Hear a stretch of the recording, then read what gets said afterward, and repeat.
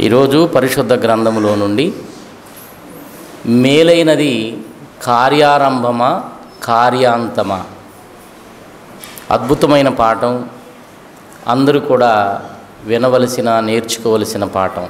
కనుక ప్రతి ఒక్కరూ మనసు పెట్టి దేవుని మాటలు వినాలని ప్రభునామంలో మీకు మనవి చేస్తూ ఉన్నాను.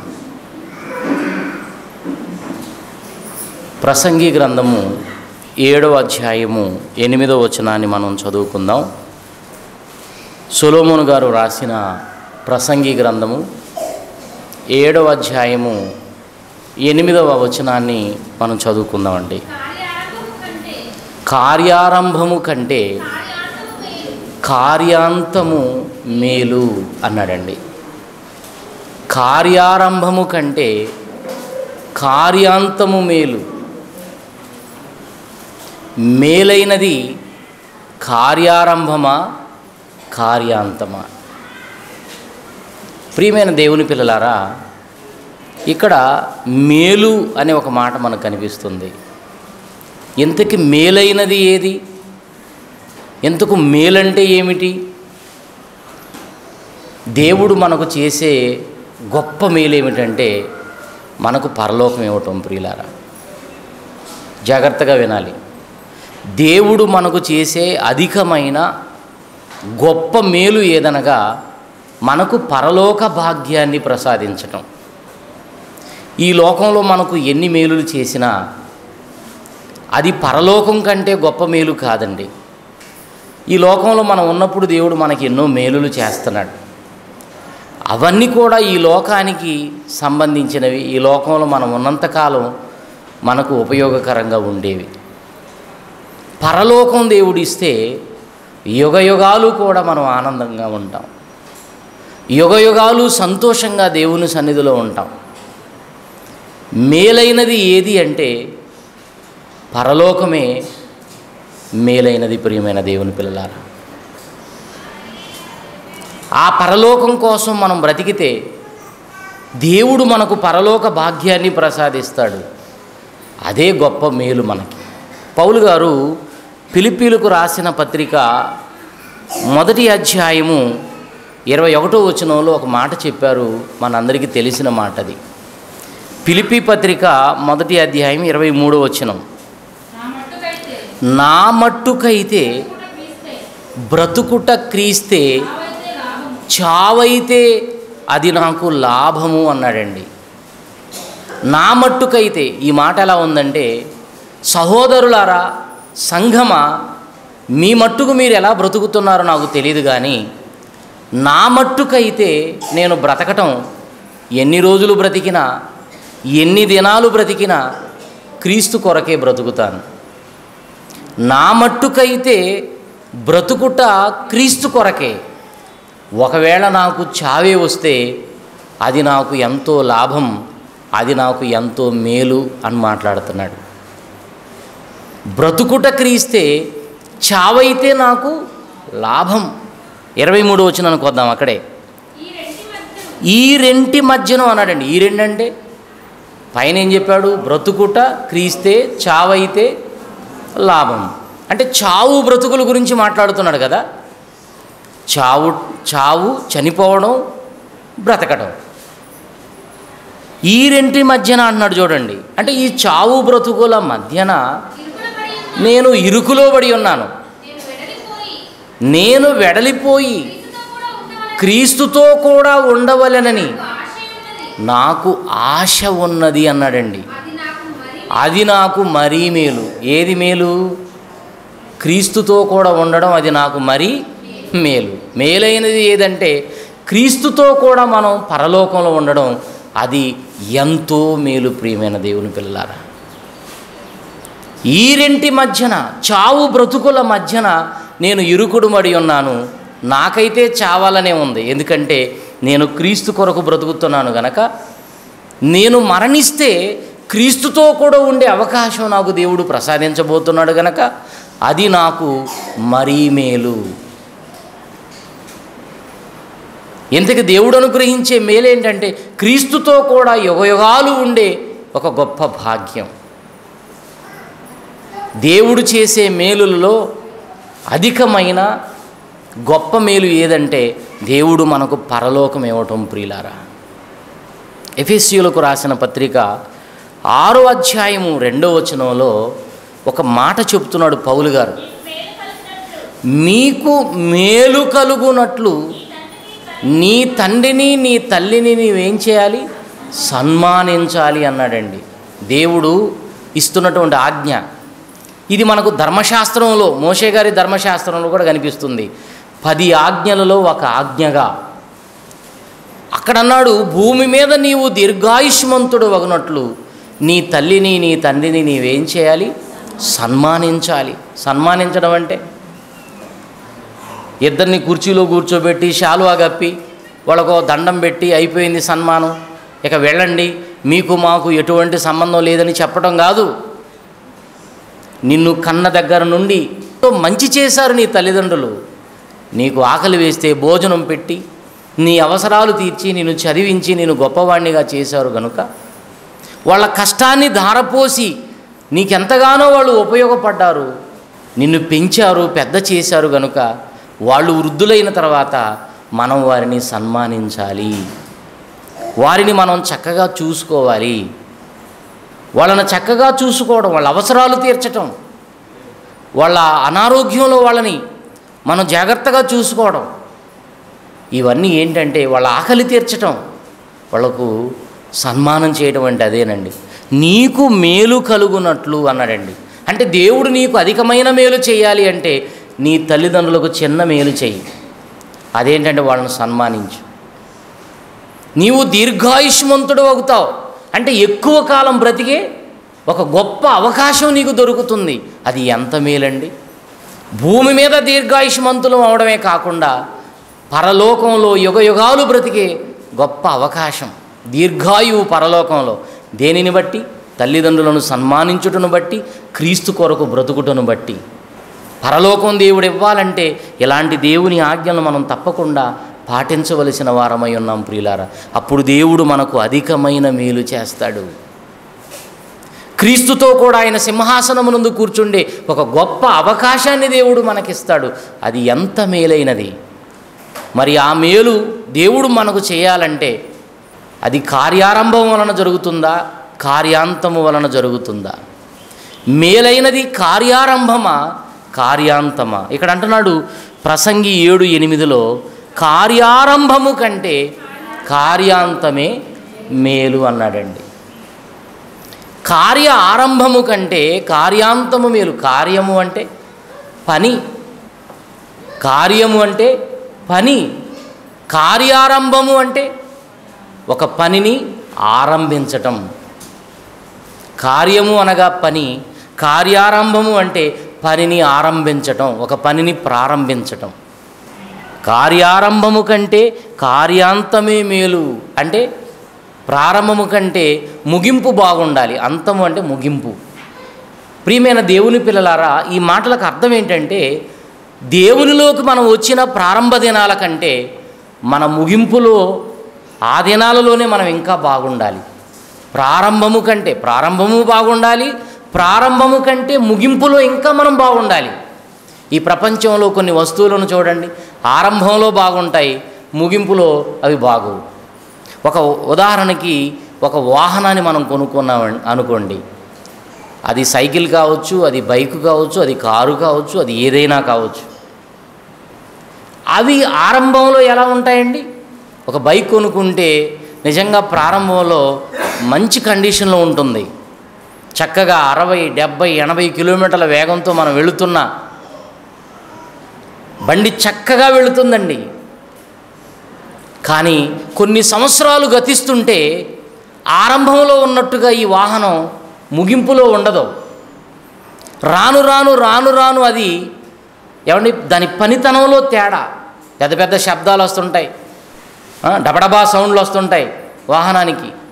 అంటే అర్థం ఏంటంటే ఇది ముగింపులోకి వచ్చింది. ప్రారంభంలో చక్కగా మైలేజ్ వస్తాయి బండ్లు. ఆ తర్వాత మైలేజ్ పడిపోతుంది. ఆలోచించండి ప్రారంభంలో ఏ ప్రాబ్లం ఉండదో ముగింపులోకి వచ్చేసరికి అన్ని సమస్యలే వాహనాలకు. ఒక టీవీ మనం కొనుక్కున్నాం అనుకోండి అది ప్రారంభంలో చక్కగా అందులో వచ్చేటటువంటి ఆ బొమ్మ కానివ్వండి ఆ మాట కానివ్వండి ఆ కలర్స్ కానివ్వండి ఎంత క్లారిటీ అంటే ఎంత స్పష్టంగా ఉంటుందంటే మాట కూడా చాలా బాగుంటుంది టీవీ. రాను రాను రాను రాను రకరకాల శబ్దాలు. రంగులో కూడా తేడా. కలర్ చేంజ్ అవుతూ ఉంటుంది. అందులో వినబడే మాటలు మనకు స్పష్టంగా వినబడవు. అంటే ముగింపులోకి వచ్చేసరికి కొన్ని వస్తువులు బాగుండడం లేదండి. ప్రారంభంలో బాగుంటున్నాయి ముగింపులోకి వెళ్ళేసరికి బాగోవట్లేదు. మనం కూడా చిన్నప్పుడు ఎలా ఉంటాం? పుట్టినప్పుడు ఎంత అందంగా ఉన్నామో? మరి ఇప్పుడు చూసుకోండి అర్థంలో పుట్టినప్పుడు ఎంత చక్కగా ఉన్నాం? మన బజారులో అందరూ కూడా మనల్ని ముద్దు పెట్టుకున్న వాళ్ళు అప్పట్లో. చిన్నపిల్లలం గనక. మరి ఇప్పుడు ముద్దు పెట్టుకోమనండి? మూతి మీద బాక్సింగ్ చేస్తారు. ఒకసారి అద్దంలోని మొహం చూసుకోమంటారు. ఎందుకంటే అప్పుడున్నట్టుగా ఇప్పుడు మనం లేము. యవన ప్రాయంలోనైతే చక్కగా ఎంత బరువులు మోస్తాం. ఎంత దూరమైనా నడుస్తాం. ఎంత చక్కగా మాట్లాడగలుగుతాం. ఎన్ని పనులు చేయగలుగుతాం. ఆయాసం లేదు రొప్పు లేదు ఇబ్బంది లేదు. హాస్పిటల్ కూడా పెద్దగా వెళ్ళే పరిస్థితులు ఉండవు. అదే కొంచెం వయసు మీద పడుతుంటే అన్నీ తేడాలేనండి. నల్లగా ఉన్న జుట్టు తెల్లగా మారుతూ ఉంటుంది. మొహం అంతా ముడతలు పడిపోతూ ఉంటుంది. నీరసిల్లిపోతూ ఉంటాం. ఎక్కువ దూరం నడవలేము. ఒకప్పుడు కిలోమీటర్ల దూరం నడిచిన మనం ఇప్పుడు మీటర్ల దూరాన్ని కూడా నడవలేని పరిస్థితి. బరువెత్తలేము. మన శరీరమే మనకు బరువు అయిపోతూ ఉంటుంది. ఎత్తులు మనకు సహాయపడుతూ ఉండాలి. ఒకప్పుడు మనమే లేచి పరుగెత్తాం. ఇప్పుడు ముసలితనంలోకి వెళ్ళేసరికి మరొకరి సహాయం మనకు అవసరం అవుతుంది. అంటే మనుషులు కూడా ఆరంభంలో ఉన్నట్టు ముగింపులో ఉండడం లేదు. సరే భౌతికంగా మనం ఎలా ఉన్నా ఆత్మీయంగా మాత్రం ప్రారంభము కంటే ముగింపులో మనం చాలా బాగుండాలి. ఆరంభం అంటే బాప్తీస్మం తీసుకున్న తొలి రోజులు. ప్రారంభంలో చాలా బాగుంటారు. ఎవరైనా బాప్తీస్మం తీసుకున్నప్పుడు ఎలా ఉంటారండి? బాప్తీస్మం తీసుకున్న తొలి రోజుల్లోనైతే ఎంత ప్రార్థన చేస్తారో? ఖాళీ దొరికినప్పుడల్లా ప్రార్థన చేసుకుంటారు. ఖాళీ దొరికినప్పుడల్లా బైబిల్ చదువుతూ ఉంటారు. ఎప్పుడు చూసినా ఎవరికైనా వందనాలు చెప్తూ ఉంటారు. ఎక్కడైనా కార్యక్రమాలు ఉంటే చెప్పన్నా మేము వస్తుంటాం అంటారు. ఓ విపరీతంగా వస్తుంటారు దేవుని కార్యక్రమాలకు. రాను రాను రాను రాను పిలిచినా రారండి. మాకు పనులండి. మేము రాలేకపోతున్నామండి. చూసారండి అంటే ప్రారంభంలో ఉన్న ఆసక్తి రాను రాను తగ్గిపోతుంది. సొలోమోను గారి మాటల్లో ఉన్న అర్థం ఏంటంటే దేవుడు నీకు మేలు చేయాలంటే నీ ఆరంభ దినాల కంటే నీ ముగింపు దినాల్లో నీవు చాలా బాగుండాలి. మనం ముగింపుకు చేరుతున్నప్పుడు ఏమండి ఈ లోక యాత్రను మనం ముగించుకునే పరిస్థితులు మనకు అర్థమవుతున్నప్పుడు ఇంకా మనం బాగుండడానికి ప్రయత్నం చేయాలి. ఇష్టం వచ్చినట్టుగా బ్రతకడం కాదు. బాప్తిస్మం తీసుకున్న రోజుల్లో నీ ప్రవర్తన ఎంత బాగుంది అంతకంటే నీ ముగింపులో ఇంకా బాగుండాలి. ప్రారంభంలో రెండు మూడు అధ్యాయులు చదివేవాడవా? ఇంకా ఎక్కువ చదువు. ప్రారంభంలో కొద్దిగా ప్రార్థన చేసుకునేవాడవా? ఇంకా ఎక్కువ చెయ్యి. ప్రారంభంలో చిన్న చిన్న కార్యక్రమాలు దేవుని కోసం చేసావా? పెద్ద పెద్ద కార్యక్రమాలు చేయి నీ ముగింపులో. కార్యారంభము కంటే కార్యాంతమే మేలు. కార్యారంభము కంటే కార్యాంతమే మేలు. ఒక సామెత ఉందండి. ఆంధ్రులు ఆరంభశూరులు అనే ఒక సామెత ఉంది.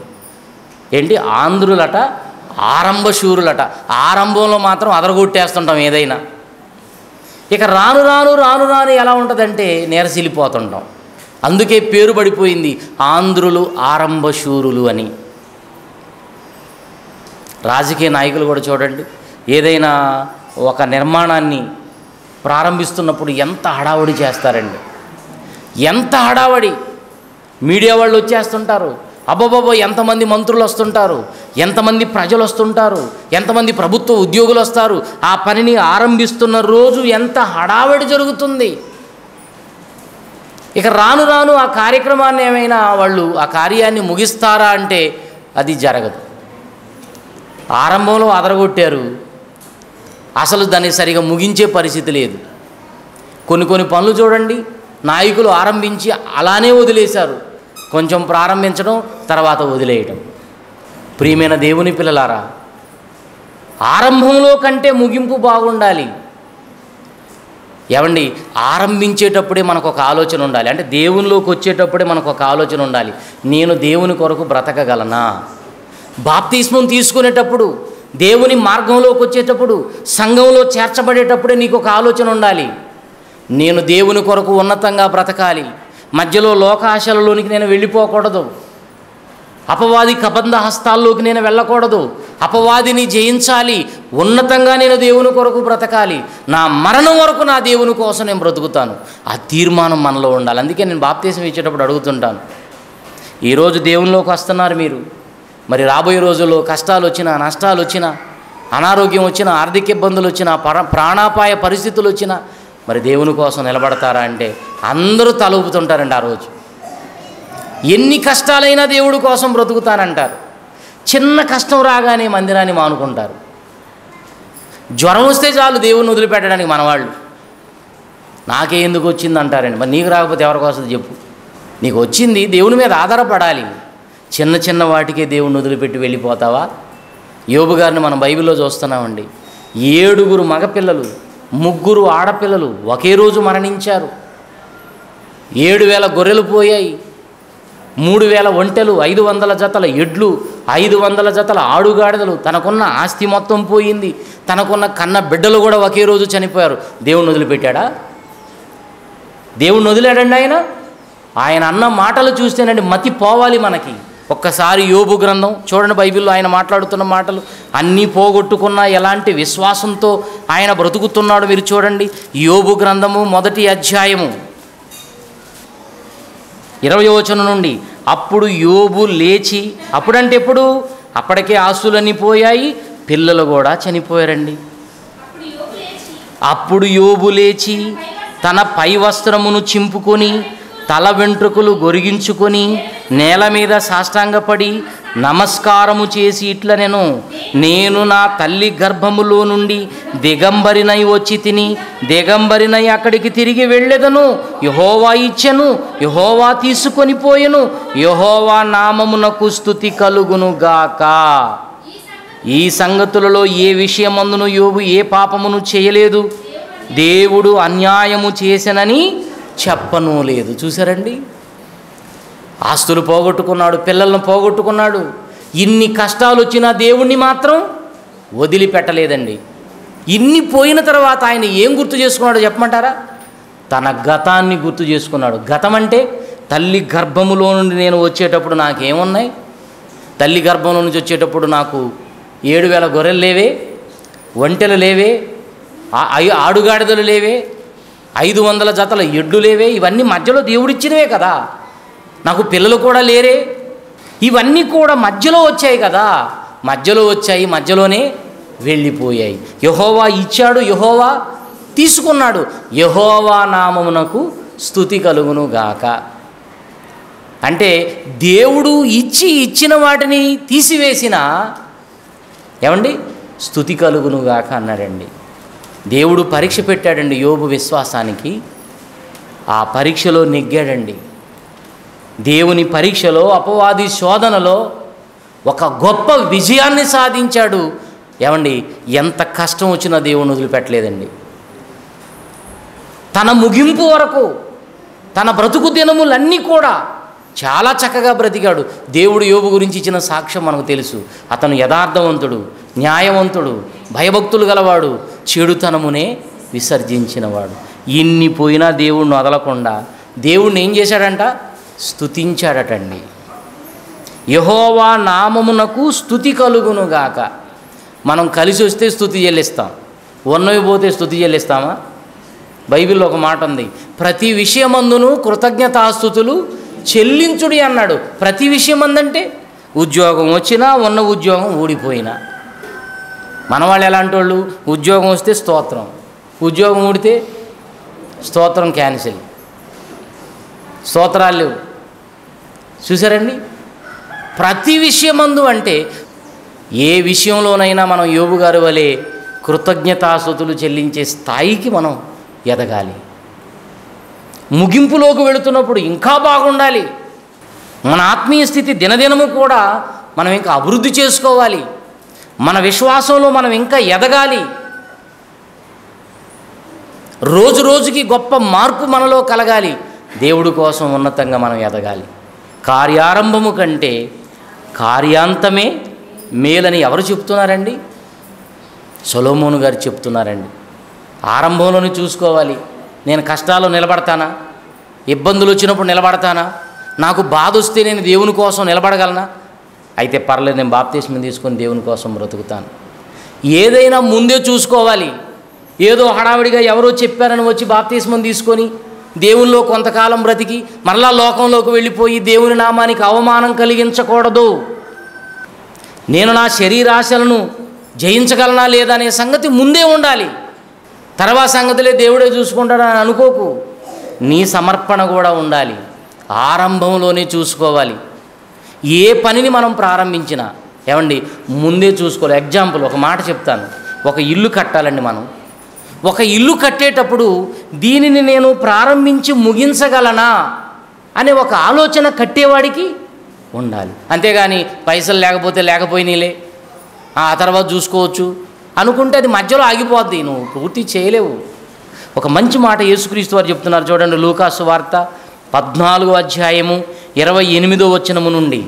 లూకాసు వార్త పద్నాలుగో అధ్యాయము ఇరవై ఎనిమిదో వచనం నుండి చదవండి. మీలో ఎవడైనను ఒక గోపురమును కట్టింపగోరిన ఎడల దానిని ఆ గోపురమును కట్టి కొనసాగించుటకు కావలసినది తన యొద్ద ఉన్నదో లేదోనని కూర్చుండి తగులుబడి అంటే దానికి అయ్యే ఖర్చును మొదట లెక్క చూసుకోవాలి. ఒక బిల్డింగ్ కట్టాలండి మనం. ఒక ఇల్లు కట్టాలి. నువ్వు నాలుగు గదులు కడతావో రెండు గదులే కడతావో ఆరు గదులు కడతావో పది గదులు కడతావో రెండు ఫ్లోర్లు వేస్తావో నాలుగు ఫ్లోర్లు వేస్తావో దీన్ని నీవు ప్రారంభించేటప్పుడు నీకు ఒక ప్రణాళిక ఉండాలి. నేను ఎంత ఇల్లు కట్టుకోవాలి దానికి ఎంత ఖర్చు అవుతుంది. దీన్ని ప్రారంభించి నేను ముగించగలనా? చూసారా? ఈ తగులుబడిని ముందే ఆలోచించుకోవాలట. ఎవడైనను ఒక గోపురమును కట్ట ఆరంభించినప్పుడు దానికి అయ్యే ఖర్చును కూర్చుండి దాని తగులుబడిని ముందే లెక్క చూచుకొనడా? చూచుకొనని ఎడల దానికి పునాది మాత్రం అడావడిగా వేస్తాడు.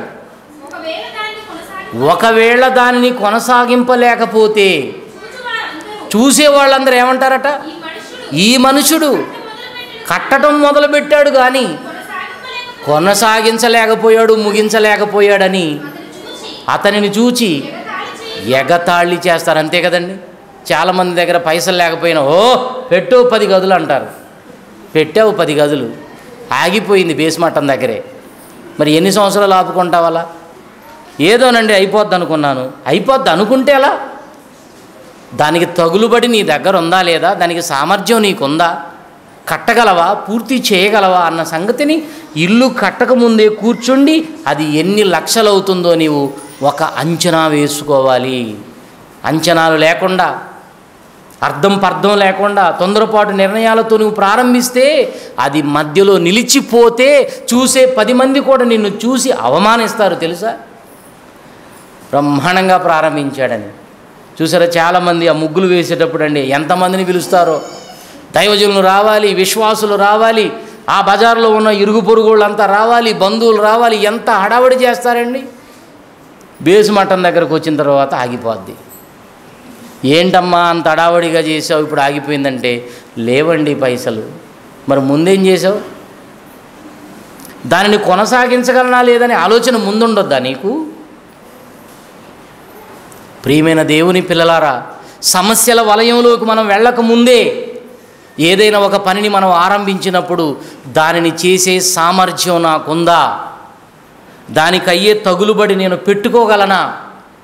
అంత స్థాయిలో నేనున్నానని ఆలోచించి ఏదైనా ఒక పని ప్రారంభిస్తే మనం కష్టాల్లోకి వెళ్ళం. మనం ఇబ్బందుల్లోకి వెళ్ళం. అవమానాల పాలు కావు. ఎంత మంచి విషయం చెప్పాడండి ప్రభు. మీలో ఎవడైనా ఒక పని ఆరంభించేటప్పుడు ఆరంభించేటప్పుడే కొనసాగించగలనా లేదని ఆ సంగతిని ఆలోచించుకోవాలి. ఆత్మీయంగా ఆలోచిస్తే దేవునిలోకి వచ్చేటప్పుడే నేను నా బ్రతుకంతా దేవుడి కోసం బ్రతకగలనా? దేవుని కోసం జీవించగలనా? ఆలోచించుకొని పర్వాలేదు నేను బ్రతుకుతాను. నాకు ఈ లోకంతో పని లేదు. నాకు శరీరాశలతో పని లేదు. ఎలాంటి భయంకరమైన పరిస్థితులు ఎదురైనా సాతాను ఎన్ని ఎత్తుగడలు వేసినా నాకు ఏది చూపించినా నా దేవుడి కోసం నేను సమర్పణతో ముందుకు వెళ్ళాలని నీవు వచ్చావా? నువ్వు నిలబడతావు చివరి వరకు. లేదా మధ్యలోనే పోతావు. వాడొకడు తిరుగుతున్నాడు కదా సాతాను గర్జించు సింహము వలె నీకేది చూపిస్తే నువ్వు ఎంత బలహీనుడవో నువ్వు ఎక్కడ పడిపోతావు వాడికి బాగా తెలుసు. మన బలహీనతలు మనకంటే సాతానికే బాగా తెలుసు. నువ్వేం చూపిస్తే లోకంలో పడిపోతావు వాడికి తెలిసి చూపిస్తున్నాడు చిన్న చిన్నవి. మనం టపామని పడిపోతుంటాం. మోషే గారికి ఎన్ని చూపించినా ఆయన పడిపోలేదండి. యేసుక్రీస్తుకు ఎన్ని చూపించినా ఆయన పడిపోలేదు.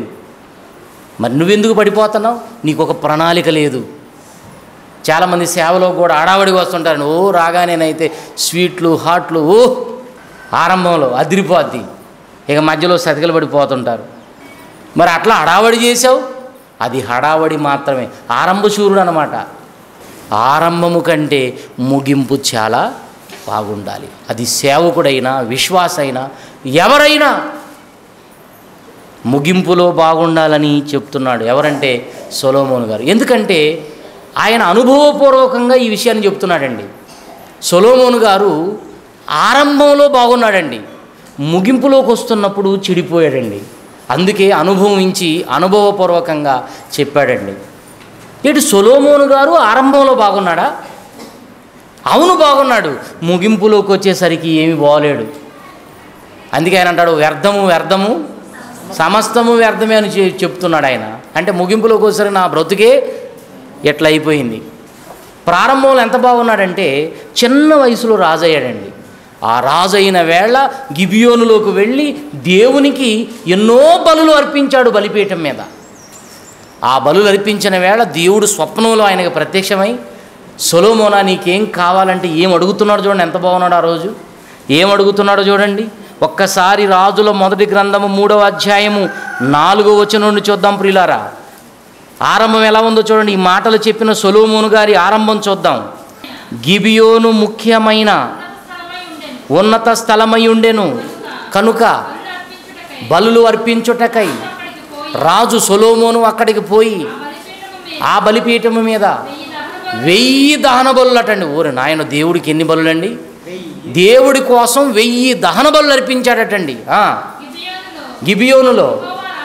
యహోవా రాత్రి వేళ స్వప్నములో సొలోమోనునకు ప్రత్యక్షమై సొలోమోనా నేను నీకు దేనినిచ్చుట నీకిష్టమో దానిని అడుగుమని దేవుడు అతనితో సెలవీయగా. మనవి చేసెను సొలోమోను ఇలాగు మనవి చేసెను.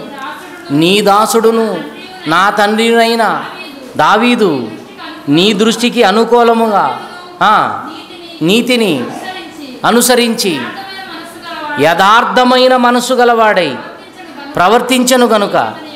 నీవు అతని ఎడల పరిపూర్ణమైన కటాక్షము అగపరిచితివి. అతని సింహాసనం మీద అతని కుమారుడైన నన్ను నీవు కూర్చొండబెట్టావు నా తండ్రి తర్వాత. అతని యందు మహాకృపను నీవు చూపి ఉన్నావు. నా దేవా యహోవా నీవు నా తండ్రి అయిన దావీదునకు బదులుగా నీ దాసుడనైనా నన్ను రాజుగా నియమించితివి. అయితే నేను చిన్నవాడను కదా. నీ కార్యాలు చూసారండి? నీ కార్యాలు. కార్యారంభము కంటే కార్యాంతము మేలని చెప్పిన ఆయన దేవుని కార్యాల కోసం మాట్లాడుతున్నాడు చూడండి. నీ కార్యములను జరిగించుటకు నాకు ఉన్న బుద్ధి ఉన్న జ్ఞానము చాలదు ప్రభువా. నీ దాసుడునైన నేను నీవు కోరుకొనిన ఈ ప్రజల మధ్య నీ జనము మధ్య ఉన్నాను. వారు విస్తరించి ఉన్నందున వారిని లెక్కించుటకు కూడా అది సాధ్యము కాదు. ఇంత గొప్పదైన నీ జనమునకు న్యాయము తీర్చగలవాడెవడు? కాబట్టి నేను మంచి చెడ్డలను ఎరుగునట్లు నీ జనులకు నీ జనులకు న్యాయము తీర్చునట్లు నీ దాసుడనైన నాకు వివేకము కలిగిన హృదయమును వివేకము కలిగిన హృదయము దయచేయం ఏం కావాలట దేవుడు? దేవుని యొద్ద నుండి ఆయనకి చెప్పండి. నాకు జ్ఞానం కావాలి. నీ కార్యములను జరిగించుటకు ఉన్నతంగా నీ కార్యాలు నేను జరిగించాలి. ఈరోజు నేను ఆరంభించాలని చూస్తున్నాను. ఈ కార్యారంభంలో నేను కొనసాగుతున్నాను. ఎప్పటి నుండి ఇంకా ఉన్నతంగా నీ కార్యాలు నేను జరిగించడానికి నీ జ్ఞానము నాకు కావాలి అని అడిగాడండి. సొలోమోను చేసిన ఈ మనవి ప్రభువునకు అనుకూలమైన. ఎందుకంటే దీర్ఘాయు అడగలేదట శత్రువుల ప్రాణం అడగలేదట ఐశ్వర్యం అడగలేదట ఈ లోక సంబంధమైన ఆస్తులేవి అడగలేదు. అంటే వాటి మీద ఆశలు లేవా? లేవు. ఇక రాను రాను బాగా వినండి. రాను రాను రాను రాను రాను రాను ఈ దేవుడి జ్ఞానం ఇచ్చిన తర్వాత ఈ జ్ఞానాన్ని దేనికి ఉపయోగిస్తున్నాడంటే లోక సంబంధమైన వస్తువులు సంపాదించడానికి ఉపయోగిస్తున్నాడు. లోక సంబంధమైనటువంటి ధనము కోసం ఉపయోగిస్తున్నాడు. లోక సంబంధమైన సుఖాలను అనుభవించడం కోసం ఈ జ్ఞానాన్ని ఉపయోగిస్తున్నాడు. ఆయన సంపాదించిన ఆస్తులండి చూస్తేనండి బైబిల్లో అసలు చదవటానికే చెమటలు పట్టాలి. ఏ రాజు సంపాదించనంత ఏ దేశపు రాజు సంపాదించనంత ఆస్తులండి. విపరీతంగా సంపాదించాడండి. అంటే మనసు ఎటు మళ్ళింది? దేవుని కార్యాలలో నుండి సొంత కార్యాల్లోకి మళ్ళీపోయింది. ఇక రాను రాను ఎలా తయారయ్యాడంటే శరీరాశలకు లొంగిపోయి ఎంతమందిని చేసుకున్నాడో తెలుసా వివాహం? వెయ్యి మందిని చేసుకున్నాడట అండి ఎంతమందిని చేసుకున్నాడట? చెప్పరేమండి. వెయ్యి ఇప్పుడు ఒకళ్ళకే తలపోటు. ఒకళ్ళకే తలపోటు. మరి ఎలా భరించాడో ఏం కథో? శరీరాశలకు లొంగిపోయి కనబడిన వాళ్ళనల్లా కావాలనుకున్నాడండి. అక్కడే దెబ్బతిన్నాడు ప్రియమైన దేవుని పిల్లలారా ఆత్మీయంగా. కనబడిన ప్రతి ఒక్కళ్ళని కావాలనుకుంటూ చూసిన వాళ్ళనల్లా వివాహం చేసుకుంటూ ఎంతమంది భార్యలండి. సొలోమోని ఇలా ఆశలకు లొంగిపోయి భ్రష్టుడైపోయి నేను చేసినవన్నీ కూడా వ్యర్థమైన పనులేనని చెప్పి ఆ ప్రసంగి గ్రంథం మొదటి అధ్యాయంలో ఎన్నిసార్లు చెప్పాడండి వ్యర్థమని?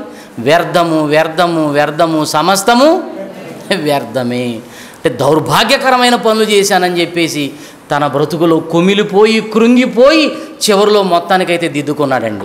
ప్రారంభంలో ఎంత బాగున్నాడు? నీ జ్ఞానం నాకు కావాలి అన్నాడు. దేవుని కోసం ఒక గొప్ప ఆలయాన్ని నిర్మించాడండి. ఒక బంగారు దేవాలయాన్ని. మామూలుది కాదండి. ఆ దేవాలయం ముందు నిలబడి ఎంత తగ్గించుకున్నాడు చూడండి ప్రారంభంలో? అంటే ఆరంభంలో ఆయన స్థితి చెబుతున్నాను నేను. రాజుల మొదటి గ్రంథము ఎనిమిదవ అధ్యాయము ఇరవై ఏడు ఇరవై ఎనిమిది వచనాలు చూద్దాం ప్రియులారా. రాజుల మొదటి గ్రంథము ఎనిమిదవ అధ్యాయము ఇరవై ఏడు ఇరవై ఎనిమిది వచనాలు. నిశ్చయముగా దేవుడు ఈ లోకమందు నిశ్చయముగా దేవుడు ఈ లోకమందు నివాసము చేయడు.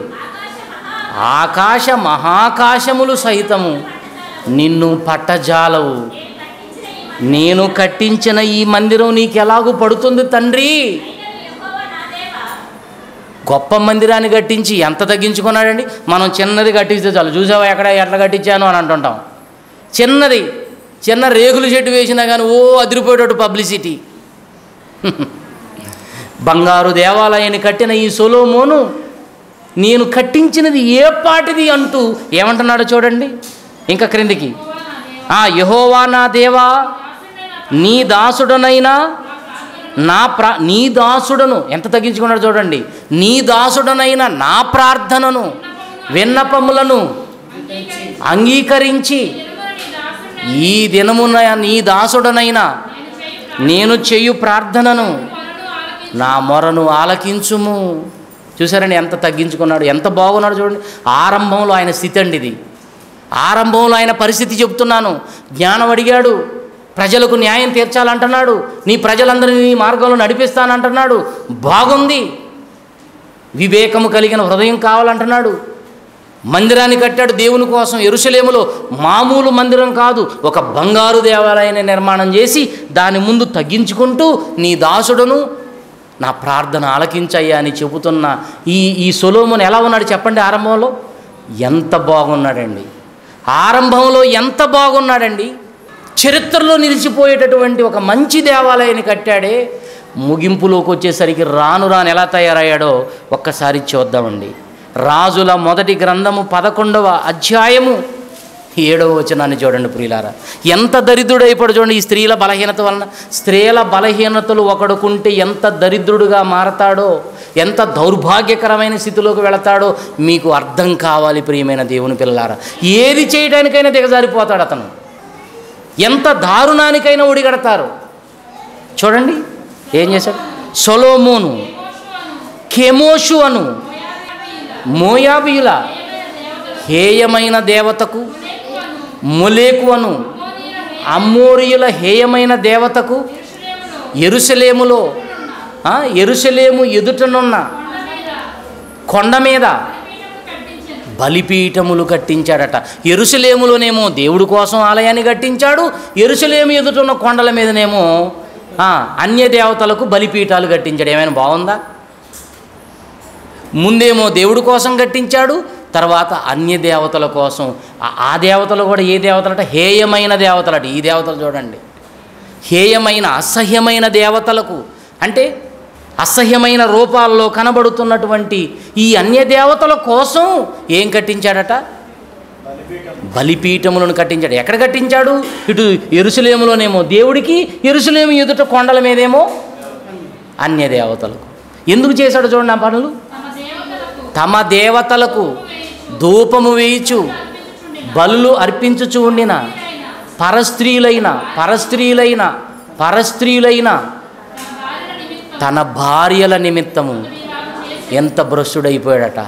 అంటే ఈ స్త్రీ వ్యామోహం అన్నది ఒక మనిషిని ఎంత స్థితికి ఎలాంటి స్థితికి దిగజారుస్తుందో తెలుసా? సొలోమోను జ్ఞానాలు ఎంత గొప్పవాడో మనందరికీ తెలుసు. చుట్టుప్రక్కల ఉన్న దేశాల్లో ఉన్న రాజులే ఆశ్చర్యపోయి ఆయన దగ్గరకు వచ్చి సలహాలు అడిగారండి. ఎంత జ్ఞానివయ్యా నీవు?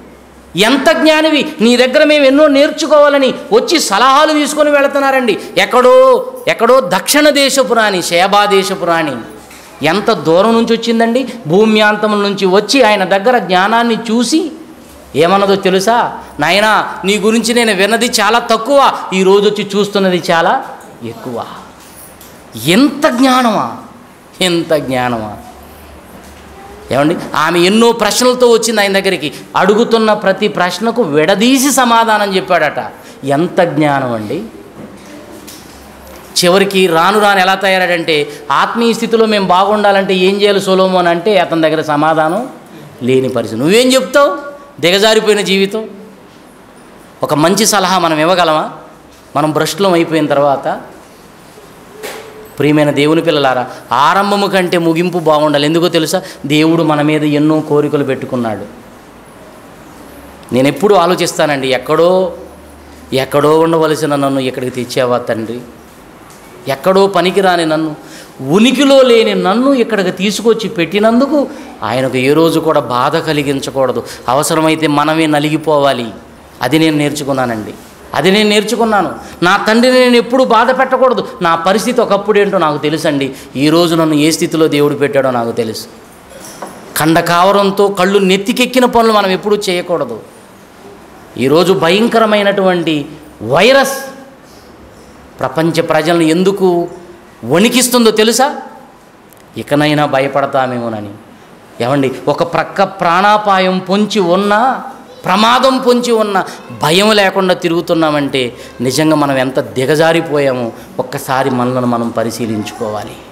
కార్యారంభము కంటే దేవునిలో తన కార్యాలు ఆరంభించేటప్పుడు ఎలా ఉన్నాడు? ముగింపులోకి పోయేసరికి ఎంత భ్రష్టుడైపోయాడు. అందుకే వ్యర్థము వ్యర్థము సమస్తము వ్యర్థమే అన్నీ వ్యర్థమైన పనులు చేశాను నేను.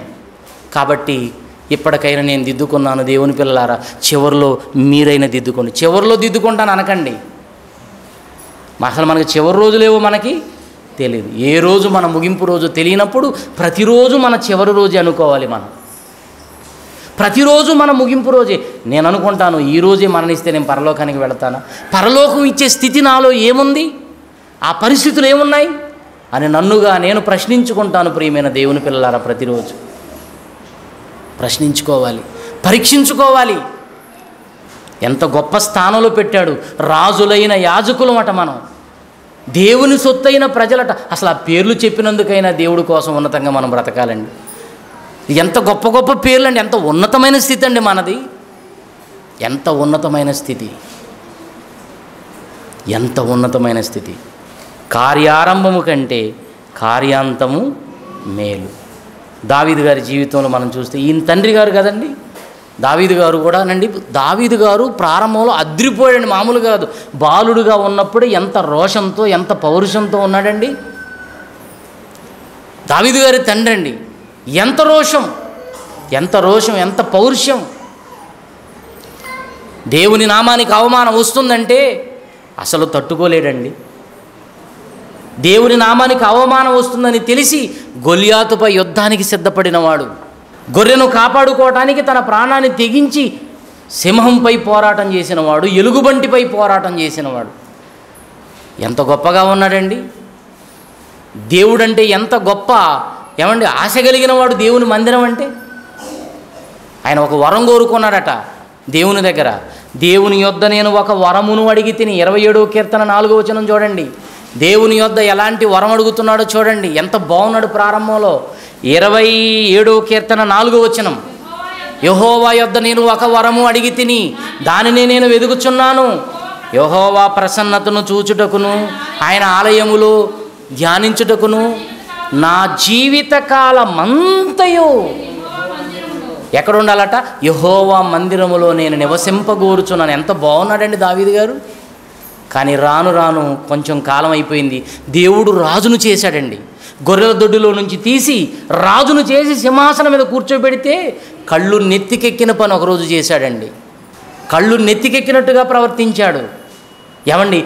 ఒకప్పుడు ఈ స్థితి ఏంటి? ఆయన పరిస్థితి ఏంటి? గొర్రెల దొడ్డిలో గొర్రెలు కాస్తూ ఏమండి? ఆ గొర్రెల పెంట మధ్యలో తిరుగుతూ అసలు గొర్రెల మధ్యలో తిరగడం అంటేనే అది ఎలాంటి వాతావరణమో మీకు తెలుసు. వాసన వస్తుంటుంది కదండి. ఆ గొర్రెలు దొడ్లుకు వెళితే తట్టుకోలేవండి బాబు. అలాంటి పరిస్థితి నుంచి తీసి ఒక ఉన్నతమైన స్థితిని ఇచ్చాడు రాజును చేశాడు ఇస్రాయిలీలకు ఎంత గొప్పగా బ్రతకాలి? ఈరోజు మనల్ని కూడా అలానే చేశాడు. మనల్ని అలా చేయలేదని మీరు అనుకోకండి. ఆత్మ సంబంధమైన దేవుని రాజ్యంలో మనం అందరం ఎవరో తెలుసా? రాజులమండి. ఎంత గొప్ప స్థితిని ఇచ్చినప్పుడు ఆ దేవుని కోసం ఎంత గొప్పగా బ్రతకాలి? కానీ ఒకరోజు ఏం చేశాడు? యుద్ధానికి వెళ్ళకుండా మిద్దె మీద తిరుగుతున్నాడంట యుద్ధానికి వెళ్ళకుండా ఒక దృశ్యం కనిపించింది ఆకర్షింపబడ్డాడు అధికారం ఉంది కనుక ఇంటికి తెప్పించుకున్నాడు రహస్యంగా పాపం చేశాడు. నేను గర్భవతినయ్యానని తెలియజేసినప్పుడు ఆమె యొక్క భర్త ఉరియాను కూడా చంపటానికి దిగజారాడండి. అంటే శరీర ఆశలకు లొంగిపోయిన వాడు ఎంతగా దిగజారతాడంటే అవసరమైతే ఈ శరీర కోరికలకు లోనై మనుషులను కూడా చంపే స్థితిలోకి వెళ్ళిపోతారండి వీళ్ళు. భయంకరమైన స్థితిలోకి వెళ్ళిపోతారండి. దానికి ప్రత్యక్ష సాక్ష్యం దావీదు గారు. దావీదు గారు మంచి పనులు చేశారు కాదనడం లేదు. దేవుడు మంచి చేసినా చెప్పాడు చెడ్డ చే చెడు పనులు చేసిన దేవుడు చెప్పాడు. ఆయన పక్షపాతం లేని దేవుడు. మనలాంటోడు కాదు. మన పిల్లలు ఎంత భ్రష్టమైన పనులు చేస్తున్నా మన పిల్లల గురించి మనం ఏం చెప్పుకుంటామో తెలుసా? మా అమ్మాయి నిప్పు. ఒక ఆవిడ అంటుంది తప్పు చేస్తుందమ్మా మీ అమ్మాయి అని చెప్పేసి ఒక ఆవిడ వచ్చి చెబుతుంటే తల్లికి మా అమ్మాయి చేస్తుందా? ఊళ్ళో ఎవరు చేయట్లేదా? మా అమ్మాయి ఏమనుకున్నావు? నిప్పు! నిప్పు కందిపప్పు ఎవడికి తెలుసు? మాటలు మాత్రం కోటలు దాడుతుంటాయి బుద్ధి చెప్పే పరిస్థితి లేదు. ఎందుకు అమ్మాయి ఇలా ఉన్నామని చెప్పేది పోయి మా అమ్మాయి నిప్పు. ఆలోచించండి. కానీ దేవుడు అలాంటోడు కాదండి. తప్పు చేస్తే తప్పే చేశాడని చెప్పాడు. తప్పు చేశాడండి. అంటే శరీర కోరికలు మనల్ని ఏ స్థితికి తీసుకెళ్తాయో ముందే దేవుడు జ్ఞానోదయం కలిగిస్తున్నాడు మనకి. వాటిని చంపుకున్నారా? మీరు ఒక ఉన్నతమైన స్థితిలో ఉంటారు. వాటికి లొంగిపోయారా? దిగజారిపోయి చివరికి ఒక మంచి స్థితిని మేలైన దానిని పోగొట్టుకునే పరిస్థితి అండి. కార్యారంభము కంటే కార్యాంతము మేలు మేలంటే పరలోకం. ఆ పరలోకాన్నే పోగొట్టుకుంటాం. ఒక దావీదు గారు మధ్యలో కొంతకాలం తర్వాత ఆయన భయంకరమైన పని చేశాడు. ఆ తర్వాత తన తప్పుని దిద్దుకొని ముగింపులో ఎంత బాగున్నాడంటే అపోస్తుల కార్యాలు పదమూడు ముప్పై ఆరులో దిద్దుకున్నాడండి. మనలాంటి వాడు కాదు. దిద్దుకున్నాడు. దిద్దుకొని ఎంత గొప్పగా బ్రతుకుతున్నాడో చూడండి. దావీదు దేవుని సంకల్పము చొప్పున తన తరము వారికి సేవ చేసి నిద్రించాడట. అంటే ముగింపుకు ముందు ఏం చేశాడు? ఉన్నతమైన దేవుని సేవ జరిగించాడు. మళ్ళీ ఈ సేవ చేస్తూ భ్రష్టమైన పనులు చేయలే. దేవుని సేవ ఎంత ఉన్నతంగా చేశాడండి? ముగింపులో అది ముగింపే కదండి? ముగింపేనా? దావీదు దేవుని సంకల్పము చొప్పున తన తరము వారికి సేవ చేసి నిద్రించాడంటే ముగింపుకు ముందు ఎంత బాగున్నాడు? సేవలో చనిపోయాడట. అంటే ముగింపు బాగుందా? బాగుంది. బాగుంది. ప్రియమైన దేవుని పిల్లలారా మన ముగింపులో మనం చాలా బాగుండాలి. ఆరంభంలో ఎలా ఉన్నామో? మనకు తెలుసు ముగింపులోకి వెళుతుంటే చాలా బాగుండాలి. అపోసుడైన పౌలు గారు ఆరంభంలో ఎలా ఉన్నాడో చూడండి. తన ఆరంభం తన ముగింపు చెప్పాడు. మొదటి తిమోతి త్వర త్వరగా చూడండి. తిమోతికి రాసిన మొదటి పత్రిక మొదటి అధ్యాయము పన్నెండవ వచనం చూస్తే తన ఆరంభ స్థితిని ప్రభువులోకి వచ్చేటప్పుడు ఆయన పరిస్థితి ఏంటో చెప్తున్నాడు చూడండి. పూర్వం అంటే క్రీస్తులోకి రాకముందు. నేను క్రీస్తులో అడుగు పెట్టేటప్పుడు ఎలా ఉన్నానంటే పూర్వము నేను దూషకుడను హింసకుడను హానికరుడను ఆయన నన్ను తన పరిచర్యకు నియమించాడు. అంటే ఒక దౌర్భాగ్యకరమైన స్థితిలో ఉన్న నన్ను దేవుడు తన గొప్ప పరిచర్యకు నియమించాడు. దేవుని పరిచర్య అంటే మామూలు విషయం కాదు ప్రియులారా. ఒక ఉన్నతమైన పరిచర్య అది దేవుని పరిచర్య. ఎక్కడో ఏ స్థితిలోనూ ఉన్నాను నేను. భయంకరమైన స్థితిలో ఉన్నాను. దూషకుడును హింసకుడును హింసకుడను హానికరుడునైన నన్ను ఆయన తన పరిచర్యకు నియమించాడు. నన్ను నమ్మకమైన వానిగా అంటే పరిచర్యను అప్పగిస్తున్నాడంటేనే నమ్మకంగా ఉంటాడని అప్పగించాడు. కానీ నమ్మక ద్రోహం చేయకూడదు మనం. పరిచర్యలో నమ్మకం నమ్మకమైన వానిగా నన్ను ఎంచాడు ఆయన. కనుక నేను ఉన్నతంగా బ్రతకాలనుకున్నాడండి. ఎలా బ్రతికాడో తెలుసా? ప్రారంభం ఏం బాగోలేదు కదా? ముగింపు ఎలా ఉందో చూడండి ఒకసారి. రెండవ తిమోతి మొదటి తిమోతిలో ఆరంభం చెప్పాడు. రెండవ తిమోతిలో ముగింపు చెబుతున్నాడు. తన ముగింపు స్థితి చూడండి ఒకసారి. రెండవ తిమోతి నాలుగవ అధ్యాయము. ఆరో వచ్చిన నుండి చదువుదాం. నేను ఇప్పుడే నేనిప్పుడే పానార్పణముగా పోయబడుచున్నాను. నేను వెడలిపోవు కాలము సమీపమై ఉన్నది. మంచి పోరాటం నేను వెడలిపోయే కాలం అంటే ముగింపు కాలం. అంతే కదండి? అంటే చివరి దినాలు. నేను వెడలిపోవు కాలము సమీపమై ఉన్నది.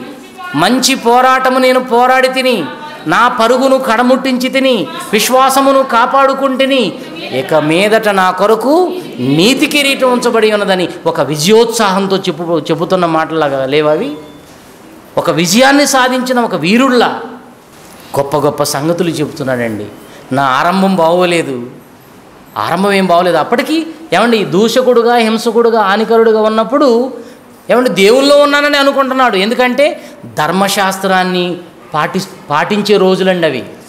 ఒక యూదుడుగా ధర్మశాస్త్రాన్ని పాటిస్తూ ఏమండి? ఈ ధర్మశాస్త్రానికి వ్యతిరేకంగా ఎవరైనా ఉంటే వాళ్ళను దూషించాలి వాళ్ళని హింసించాలి వాళ్ళకు హాని తలపెట్టాలని ఒక స్టెఫెను మరణానికి కూడా కారకుడయ్యాడు. దేవునిలోనే ఉన్నాను అనుకున్నాడు కానీ తన స్థితి ఏమీ బాగోలేదండి. కానీ సత్యాన్ని తెలుసుకున్న తర్వాత ముగింపులో ఎంత బాగున్నాడు ఒక పౌలు గారు చూడండి. ఎంత బాగున్నాడు. బైబిల్ గ్రంథంలో మనం చూస్తేనండి ఒక ఇస్కరియోతు యోధ మనకు కనిపిస్తాడు. ఆరంభంలో ఎంత బాగున్నాడంటే అపోస్తుడుగానే పిలువబడ్డాడు. యేసుక్రీస్తు అపోస్తుడుగా పిలిచాడు అంటే ప్రారంభంలో ఎంత నమ్మకాన్ని కనబరుస్తూ బ్రతికాడు. ఇంకొక విషయం చెప్పమంటారా? యేసుక్రీస్తు వారు పరిచర్యకు ఎక్కడికి పోయినా డబ్బు సంచి ఆయన దగ్గరే పెట్టేవాడంట. ఏమంటే కానుకల సంచి ఒక దైవజనుడు ఒక వ్యక్తి దగ్గర పెట్టాలంటే అతను ఎంత నమ్మకస్తుడై ఉండాలి చెప్పండి? ఒక సంఘంలో ఒక వ్యక్తి దగ్గర కానుకల సంచి ఒక దైవజనుడు పెడుతున్నాడు అంటేనే అతను ఎంతో నమ్మకమైన వ్యక్తి అని అర్థం. అంతే కదండి? ఎవరి మీదనైనా నమ్మకం ఉంటేనే దాన్ని ఆ ధనాన్ని మనం అతనికి అప్పగించగలుగుతాం. లేదు లేదో తేడా జరుగుతుంది మధ్యలోనే ఇవన్నీ కూడా మేసేస్తాడు అనుకుంటే ఎవరు రూపాయి మనకి ఎవరండి నమ్మకం నమ్మకం ప్రియులారా. నమ్మకం. ఏమండి? నమ్మకం అండి. చాలామందికి ఈ సంగతి తెలియక దేవుని పిల్లలు ఇచ్చిన దాన్ని దోచేసుకొని దాచేసుకొని లెక్కలు కూడా చెప్పకుండా రకరకాలుగా ప్రవర్తించే వాళ్ళు ఉన్నారు. వద్దండి. ఇదిగో ఇస్కరియోతు యోధాలాగా ఉంటే మన గతి ఏమవుతుందో తెలుసుకోవాలి మనం. ప్రారంభంలో బాగున్నాడు రాను రానట ఈ డబ్బు సంచి కానుకల సంచి చూస్తున్నాడు. వామ్మో ఎన్ని వేస్తున్నారు వీళ్ళు? డబ్బు సంచిలో ఉన్న ఆ ధనాన్ని దొంగిలిస్తూ వచ్చాడట. ఒకరోజు పాపాత్మరాయలైన స్త్రీ అండి విలువైన అత్తరు బుడ్డి తీసుకొస్తే ఆయన ఏమన్నాడు తెలుసా? ఏమమ్మా ఇంత విలువైన అత్తరు బుడ్డి అవసరమా? దీన్ని నమ్మి ఈ ధనాన్ని బేదలకి ఇవ్వచ్చు కదా? అతనికి బేదల మీద ప్రేమ ఉన్నందున కాదట. ఇది డబ్బు సంచి. ఏది కానుకల సంచిలో వేస్తే దాన్ని కూడా నొక్కొచ్చు అనుకుంటున్నాడట. బైబిల్లో రాయబడిన మాట అది. చూసారా ఎంత దౌర్భాగ్యుడు? చివరికి ఏం పోగొట్టుకున్నాడు ముగింపులోనండి ముగింపులోనండి దేవుడు కండి ద్రోహమే చేశాడండి. ఒక్కసారి ఆ మాట చూడండి. అపోస్తుల కార్యాలు ఒకటి పద్దెనిమిది. దేవునికి నమ్మిన దేవునికి నమ్మిన ప్రభువుకు ఏం చేశాడో చూడండి ఆయన. ఈ యోధ ద్రోహం చేశాడు. ఏం చేశాడు? నమ్మిన దేవునికి ద్రోహం చేశాడు. నమ్మిన ప్రభువుకు ద్రోహం చేశాడండి. ఒక ద్రోహిలా మారిపోయాడు. ఇస్కరియోతు యోధ ఒకప్పుడు అపోస్తులడు ముగింపులో ద్రోహి. ఒకప్పుడు అపోస్తలుడు నమ్మకమైన వాడు కానీ చివరిలోకి వచ్చేసరికి ద్రోహిలా మారిపోయాడు. ఏం సంపాదించాడు అంటే తనకు దేవుడిచ్చిన స్థలాన్ని కూడా పోగొట్టుకున్నాడట. తాను తన చోటుకి పోగొట్టుకు పోగొట్టుకున్నాడట తప్పిపోయాడట. అంటే పరలోక భాగ్యాన్ని పోగొట్టుకున్నాడు. అంటే మేలైన దానిని పోగొట్టుకున్నాడు. ఆరంభంలో బాగున్నాడు ముగింపులో బాగోలేదు. ఆ గొప్ప గొప్ప మేలును పోగొట్టుకున్నాడు ప్రియమైన దేవుని పిల్లలారా. ఆ మేలే పరలోకం. కార్యారంభము కంటే కార్యాంతము మేలన్నాడంటే ఆ మేలు పరలోకమే. ఒక దొంగ ఉన్నాడండి. సిలువలో ఏమన్నా ఇద్దరు దొంగలు ఉన్నారు కదండి. సిలువలో ఇరువైపుల యేసుక్రీస్తుకి ఇరువైపుల ఇద్దరు దొంగల్ని సిలువ వేశారు బందిపోటు దొంగలండి వాళ్ళు. మామూలు దొంగలు కాదు. ఏ దొంగలు? బందిపోటు దొంగలు. ఒక దొంగ కొంతమంది కుడివైపున ఉన్న దొంగ అంటారు. అక్కడ బైబిల్ లేదు అసలు.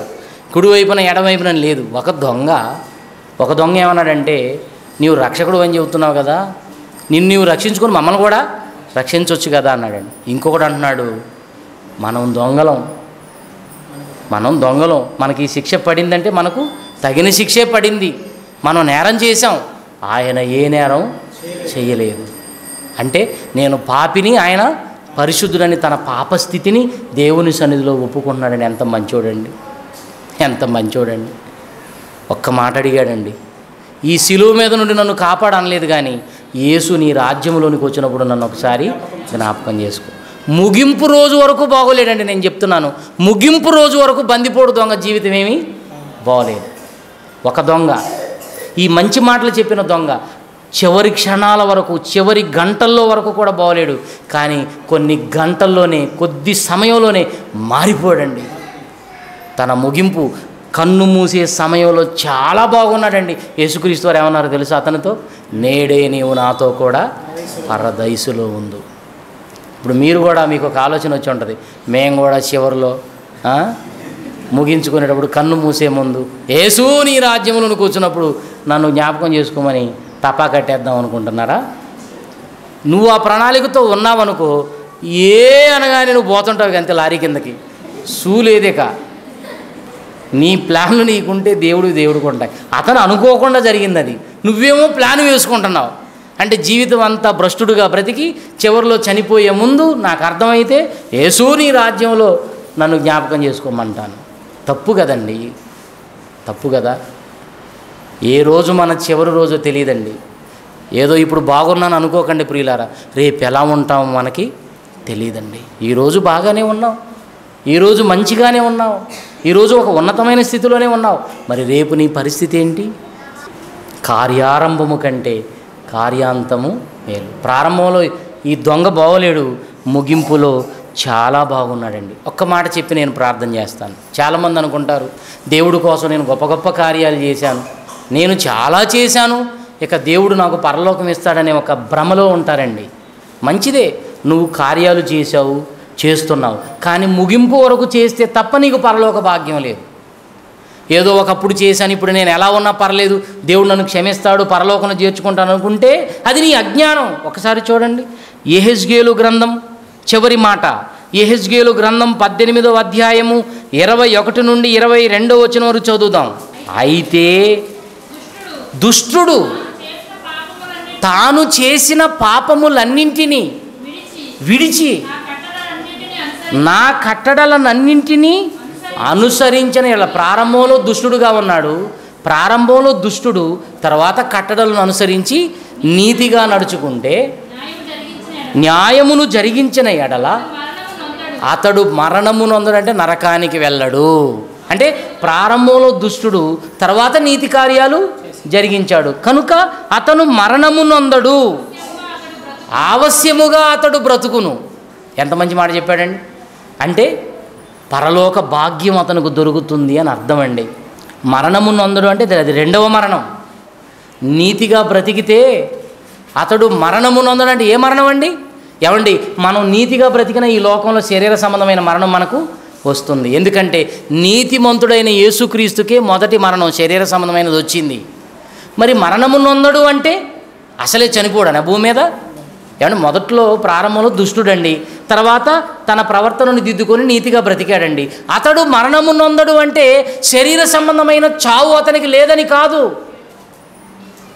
రెండవ మరణము ఆయనకు లేదు నరకము లేదు. నరకం లేదు. నరకాన్ని తప్పించుకుంటాడు. అదండి అర్థం. అంటే ప్రారంభంలో బాగోలేకపోయినా ముగింపులో బాగుంటే ప్రారంభంలో బాగోలేవు. ఏమన్నా ఒకప్పుడు మనం మాత్రం దేవునిలోకి రాకముందు ఎలా ఉన్నాం? మరి ఇప్పుడు ఎలా ఉంటున్నాం? ఒకప్పుడు మనం దుష్టులమే. ఇప్పుడు నీతిని అనుసరిస్తే మనం మరణాన్ని తప్పించుకుంటాం నరకాన్ని తప్పించుకుంటాం. తర్వాత చూడండి ఇరవై నాలుగు వచనం. ఇరవై నాలుగు వచనం. అయితే నీతిపరుడు తన నీతిని విడిచి పాపము చేసి దుష్టుడు చేయు హేయక్రియలు ప్రకారము జరిగించిన ఎళ్ళ అంటే ముందేమో నీతిగా ఉన్నాడట రాను రాను హేయమైన క్రియలు చేస్తున్నాడట. అతను బ్రతుకునా అని ప్రశ్నించాడు మనల్ని. చూసారండి? అతడు బ్రతుకునా? అంతకుముందు ఏం చేశాడట ప్రారంభంలో? నీతిగా బ్రతుకుతూ నీతి కార్యాలు చేశాడట. అంతేనా? నీతి కార్యాలే చేశాడట. అతడు చేసిన అంటే ముందు చేసిన నీతి కార్యములు ఏ మాత్రమును జ్ఞాపకమునకు రావన్నాడు. చూసారండి? ఆయన కూడా ఎలా ఉన్నాడు? అంటే ప్రారంభంలో నువ్వు మంచి పనులు చేస్తూ చేస్తూ చేస్తూ చేస్తూ వచ్చి అమ్మయ్య నేను ఇన్ని మంచి పనులు చేశాను ఇక పర్వాలేదు. దేవుడు నన్ను నచ్చాడు నన్ను మెచ్చాడు నాకు పరలోకం ఇస్తాడని. నువ్వు ఆ భ్రమలో ఉండి చివరకు వచ్చేసరికి భ్రష్టుడవై దుష్టుడవై దుర్మార్గపు పనులు హేయమైన పనులు నువ్వు చేస్తే నీ ముగింపులో ఎలా నీవు బ్రతికితే నువ్వు చేసిన ముందు చేసిన కార్యాలు అసలు జ్ఞాపకములోకి కూడా తెచ్చుకోడట దేవుడు. నువ్వేమంటావు అప్పుడు? లేదు ప్రభువా అది చేశాను. లేదు ప్రభువా ఒకప్పుడు ఇది చేశాను. షాటాప్ నోరు మూసుకో అంటాడు దేవుడు. నువ్వు అది చేసినా ఇది చేసినా నువ్వు ఏది చేసినా? ఇప్పుడు ఎలా ఉన్నావు? నాకు అది కావాలి. నీ ముగింపులో నీవు ఎలా ఉన్నావు? నాకు అది ఇంపార్టెంట్ నాకు అది కావాలి. అతడు బ్రతుకునా? అతడు బ్రతుకునా? అతను పరలోకానికి వెళ్తాడా? ఈ మాట మీకేం అర్థమైందండి? మనం ప్రారంభంలో ఎన్ని కార్యక్రమం ఎంత చేస్తే అంత మంచిదండి మంచిది. మంచి చేస్తూ చివరికి కూడా మంచినే చేస్తూ నువ్వు ముగించుకోవాలి ఈ జీవితాన్ని. అంతేగాని ముందు మంచిగా ఉన్నాను ఇప్పుడు ఎలా ఉన్నా పర్లేదనుకుంటే ఇక నీవెంత దౌర్భాగ్యుడవో. నేను ఎన్నో చేశానని అనుకుంటూ ఏమండి ఎలా పడితే అలా బ్రతికితే కుదరదండి. రాను రాను మనం నీతి కార్యాలు చేస్తూ మన ఆత్మీయ స్థితిలో ఇంకా మనం ఎదగాలే తప్ప దిగజారిపోకూడదు. మన మాటలు కానీ మన చూపులు కానీ మన ప్రవర్తన కానీ మన పనులు కానీ ఉన్నతంగా ఉండాలండి మనం. ఏమండి? మీరు ఎంతో ఖర్చు పెట్టే వాళ్ళు ఉన్నారు దేవుడు అంటే చాలండి చాలా ప్రేమ గల వాళ్ళు ఉన్నారు మన సంఘంలో. మంచిదే మీరు మంచి చేస్తున్నారు. దేవుని పిల్లలారా మీకు ఒక మంచి మాట చెప్తాను. మంచి చేసే మీరు ఎప్పుడు మంచే చేయండి. కానీ లోకంలో దిగజారుడు పరిస్థితులకు మీరు వెళ్ళకండి. నేను మంచి చేశాను ఒకప్పుడు దేవుడు నాకు పరలోకం ఇస్తాడు భ్రమలో ఉండకండి. మీరు ముగింపు వరకు మంచి చేస్తూ బ్రతకండి. మీకు తప్పకుండా పరలోకం ఇస్తాడు దేవుడు. కార్యారంభము కంటే కార్యాంతమే మేలు. ఎలా ఉన్నాం ఈరోజు మనం? ఒకప్పుడు ఎలా ఉన్నాం? బాప్తిస్మం తీసుకున్న తొలినాళ్ళలో ఎంత బాగున్నాం? మరి ఈరోజు ఎలా ఉంటున్నాం మనం? పరిశీలించుకొని పరీక్షించుకొని మన ముగింపులోకి వెళుతున్నప్పుడు మనం ఇంకా బాగుంటే దేవుడు మనకు పరలోకం ఇస్తాడు. కార్యారంభము కంటే చెప్పండి కార్యారంభము కంటే కార్యాంతమే మేలు. ఆ మేలే పరలోకం.